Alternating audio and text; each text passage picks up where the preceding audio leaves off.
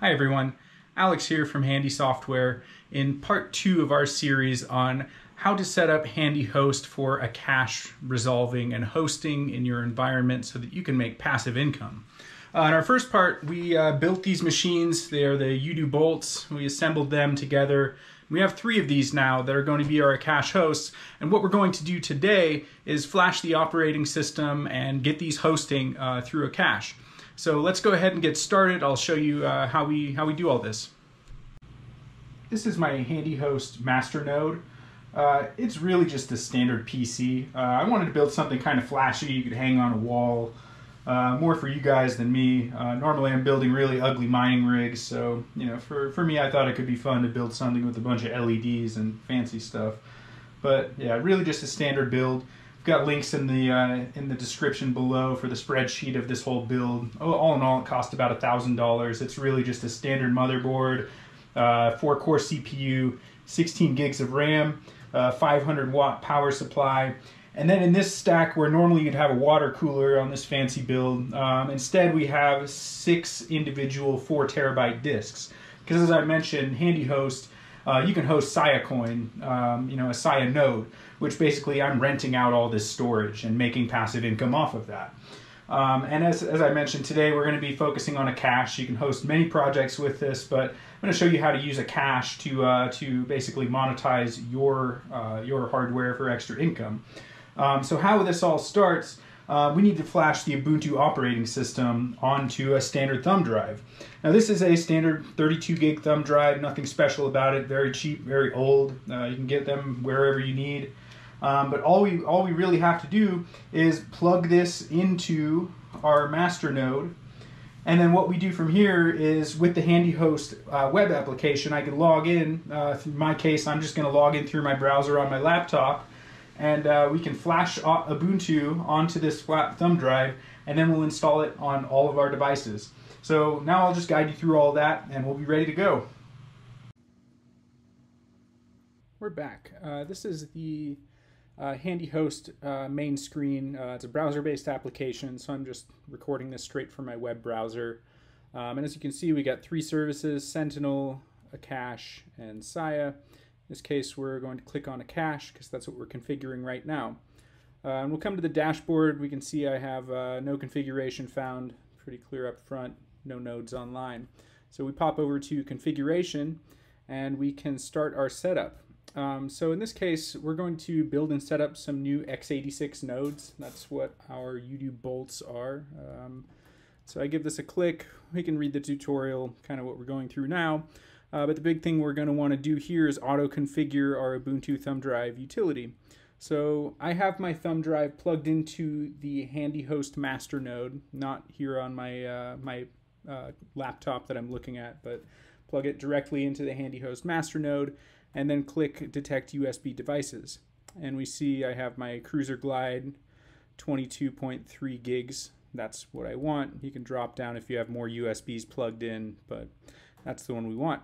And then what we're going to do is click Create Ubuntu Auto Installer. And note that this will take 5 to 10 minutes. Um, what it's going to do is uh, basically uh, install like the full Ubuntu operating system uh, latest version on that thumb drive uh, configured so that all we literally have to do when we add these new nodes is um, plug this thumb drive in, power them on, and here within the uh, HandyHost application, we'll get a notification telling us that you know this node has been installed and we can move on to the next. And then once we have them all configured, then we'll go ahead and set up our cache cluster. So we'll go ahead and skip forward a little bit now uh, after this uh, installs, and we'll be right back. Our thumb drive has finished installing, um, so I'm just going to go ahead and unplug it. Now the next step in our process, um, we've got our three Udoo bolts here plugged into the Ethernet hub down here. Um, Blackwire coming in is providing internet to the hub. We've uh, also got my master node plugged into that node, as well as uh, the three Akash uh, Udoo bolts themselves are plugged into the same hub. Um, so first thing I do to, to install this is pretty easy. So I'm going to take my thumb drive and I plug it into the front side USB port on the Udoo bolt and then uh, the second thing I'm going to do is plug in power. Um, and as we see, there's a there's an orange lightning bolt that just turned on on top. That means we've got power. Um, and the next thing and final thing really I have to do is hit the power button and it turns green and everything starts up. Uh, now then, within five minutes, what's going to happen is that we'll see a notification uh, back in the web application that tells us that this machine has fully installed. And at that point, I can move on to the next machine and followed by the last one until they're all finally set up. And then we'll go ahead and do the rest of the configuration. We got our notification here on the interface that we've added this Akash node with a name and an IP address successfully. And now we can go ahead and remove our USB thumb drive from this first node and we'll just go on to the next two nodes until we're finished. And at that point, we'll uh, finish the rest of this process. Uh, it looks like we finished all three nodes here. Um, they all have names, they all have IPs. I can click done.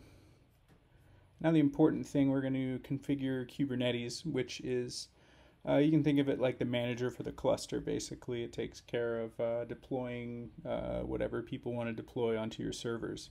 So we see that no cluster nodes are found, um, so let's find some. We'll fetch the list. This can take a minute. Um, it's basically just scanning the network for any machines that it sees connected. There we go. We can see, uh, you know, these are the machines directly on the uh, network. the ones that we're going to be looking for, I mean, A, it will, uh, it will tell you the, the name and IP. You can keep those in, in your brain, but also, we see that we have Akash dash some random name um, that we set onto the node. So I can just select any of these with Akash um, prepended onto the name. Um, and, and that's all we really have to do there to uh, select our three nodes.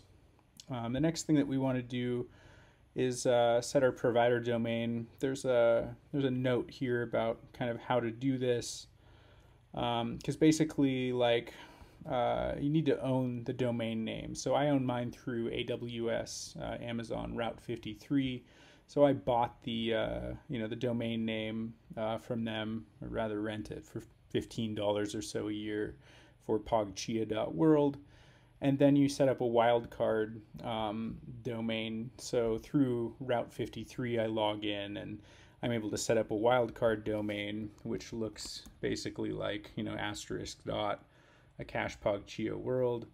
And it redirects to my IP, which you can click on get my global IP address here. So through that, um, I can I can redirect all things that you know ultimately go to this uh, this subdomain to this IP address, and you can do this through uh, GoDaddy Route 53. Uh, noip.com is pretty easy. Um, they charge you a little bit more. It's like 20 or 30 dollars a year, but also worth it um, if, if you don't want to go through all the trouble of you know the really technical Route 53 or things like GoDaddy. NoIP makes it really easy, so you can just kind of you know log in, set up your account, and and it'll see your IP address, and you just set up that wildcard domain through a dropdown. So highly recommend that um, region name. And one thing, um, if you look in the marketplace tab, you can see like, you know, where a lot of things located at, like a lot are on West Coast uh, region name. And I'm just going to set up uh, my own just for testing here, um, Earth-Lab 0, so that way when we deploy a sample application here in a little bit, I'll, I'll have my own region name and, and prefer my node when I do bidding and stuff. Uh, cluster name, I'm just going to call it Earth Lab. And which wallet, um, when you start this whole service up, you'll have to create or import a wallet. Um, so I'm going to choose a wallet and just fetch them. And you can have multiples. Um, I'm going to select Earth Lab 4, which is one of my development wallets here. And I'm going to select that wallet. It pre-populates this field. And now that I have these pieces, I'm going to save my configuration and hey, we saved it. Um, and one note, uh, tells you that you need to open up some port forwarding in your router. There's a link here to a website on how to set that up, but uh, basically you're going to want to open port 80 and between 30,000 and 32,767 to this IP address that's listed. Um, and what what that does is allow the internet um, overall to talk to uh, one of your machines in your th- cluster of three is going to be the load balancer. So it receives all the internet traffic to these ports and it redistributes it to any of the services sitting on the others, like the services you're renting out, right? Uh, so you're going to want to set up that port forwarding for these ports. And again, how to do it, it de- really depends on your router hardware you have, whether that's you know from your cable company, internet provider, whatever. But all the major brands are covered in this how-to guide if you don't know how to do that. And then as well, um, you know, we could go ahead and click Build Kubernetes Cluster here. Uh, one of the things to note, we have View Advanced Options. We fill all this out for you. You don't need to worry about this at all. If you had like 10 nodes, you can, you know, if you're a super geek, you can go through and uh, kind of play with these and decide, you know, which node do I want to be my master node or, or host etcd or, you know, do nothing.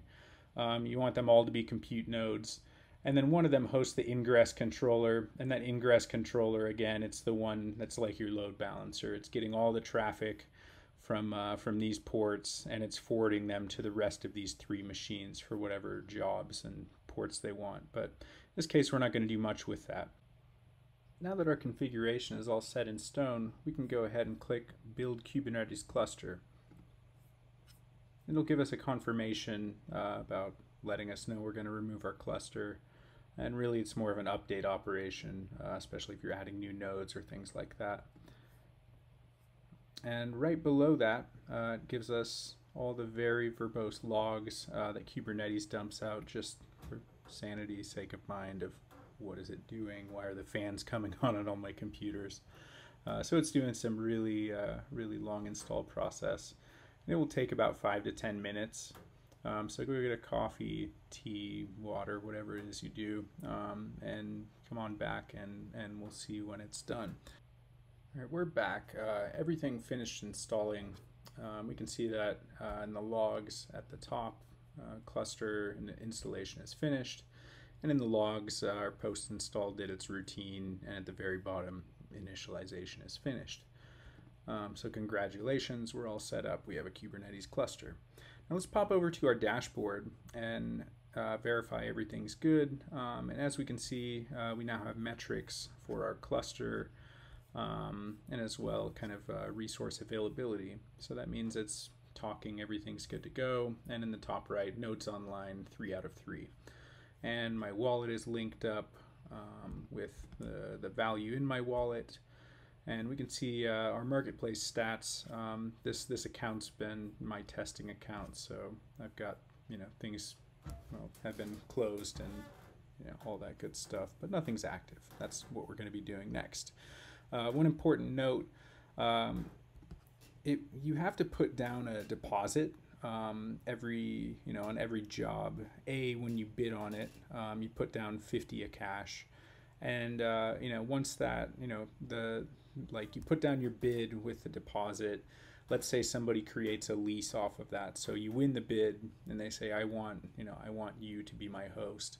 Um, that that 50 Akash sits in escrow. So it's not theirs it's just sitting there you know in, in, in Akash right um, it's nobody well it's yours but it's uh, nobody can touch it until that lease is finished so then the lease will finish and you'll get that 50 Akash back think of it like a deposit so you know, in my case, uh, what I've got 24 CPUs. Um, I'm going to need a lot of, uh, you know, a lot of Akash in my account. So plan on having, you know, what five, six hundred dollars something uh, around just to get you started um, uh, for just deposits alone. Um, just FYI.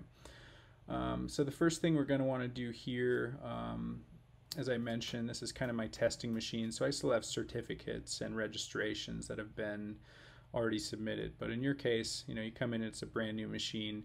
You're going to want to register with the blockchain and you're going to want to generate a uh, encryption certificate from Akash um, for you know communications uh, between you know renters and you. Um, so we're in your case, you won't see a check mark here, and you'll see something that says create registration. Uh, I'm just going to go ahead and update mine just because. And I have 12,000 in there for fees. Uh, default's about 10,000. Uh, a minute ago, I was testing this, and you know, 11,000 was the magic number. Um, so I'm just going to give 12,000 for fees, um, and that's that's uh, you know micro Akash. So you know there's a million in in one Akash. So this is you know one hundredth of an Akash, um, so three cents or something. Um, and I'm also going to want to generate um, or update my server certificate. I can do these both in one step. So let's go ahead and try this out. Um, we'll submit the transaction. It'll take just a few seconds to confirm. Uh, okay, of course. Um, sometimes you'll get these. It's just a you know RPC error with the transaction. Just try this again.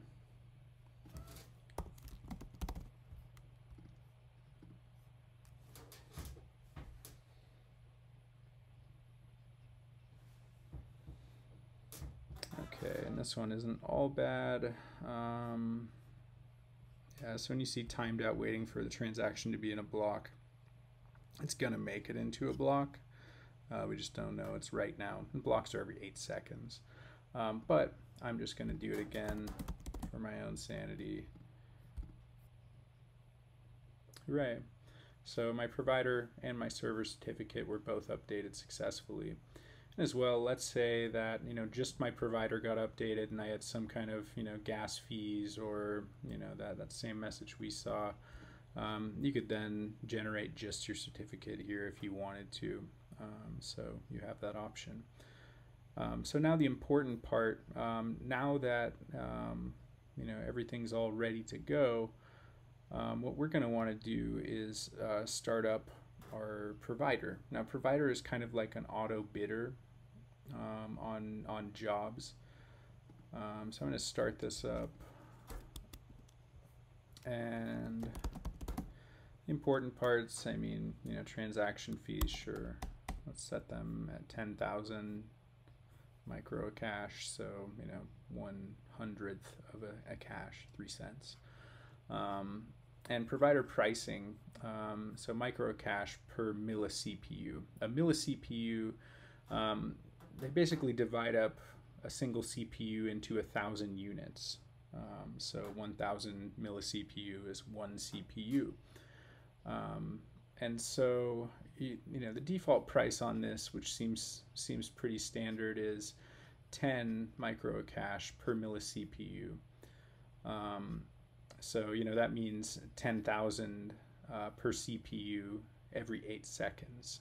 Um, which you know yeah three cents every eight seconds not bad at all um, so you know if you're not getting a lot of uh, you know not winning a lot of bids maybe you're too high you're getting too many maybe you're too low but I'm just going to set it at 10 and I'm going to run my provider hooray we have started our provider um, so now we can pop over to marketplace um, and let's check on my this will be, you know, we can see all kinds of good things in the marketplace, all the open orders. Um, I want to look at my bids and see if we've already started auto bidding on anything.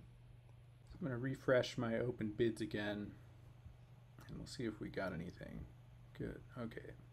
So fun fact, this is actually me, uh, myself. I've created a job um, just for the sake of this demo. Um, and we're going to make a Super Mario Brothers server um, that that will run. Um, so we've got the open bid, um, and that's good. Um, and one thing to note in our dashboard, I had 60 Akash before, but as I noted, 50 go to collateral. Um, so there's there's 50 Akash sitting in escrow at the moment. Um, so now what I'm going to do, I've got my terminal and so this is basically, uh, you know, I've written some scripts here just for testing stuff out. Um, so I've already got everything wired up. I've created this deployment, which then I've bidded on um, through the provider. And now I'm going to create the lease. Um, so this would be me, me saying I've selected somebody, um, you know, this this wallet, the provider, and I'm gonna I've, I've decided to give them my business, right? Um, so I'm going to create a lease. And I'm going to confirm. Yes, it's going to the right account.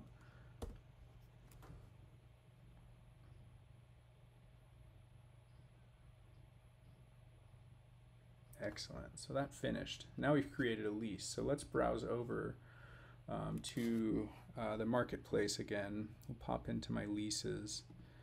And we should see now in my active leases, there it is. The lease is open. The cool thing that I can do now is uh, send the manifest over. The manifest is basically my deployment. Um, so it's going to tell my server, um, the, provider, to tell the server to deploy Super Mario Brothers um, to it. So I'm going to send the manifest.